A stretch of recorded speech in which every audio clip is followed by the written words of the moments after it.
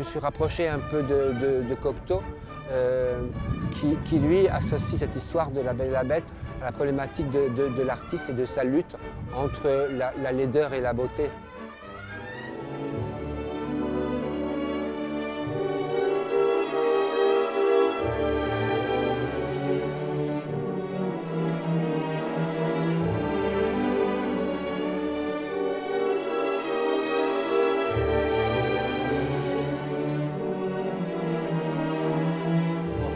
Thierry, il a créé en plus des, personnages de l'histoire que tout le monde connaît, il a aussi créé trois personnages supplémentaires, l'artiste, son âme et son corps.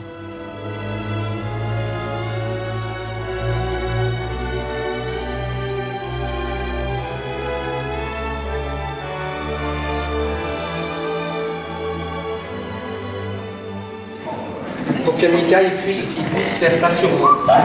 Allez. Você está puxando? Não, não.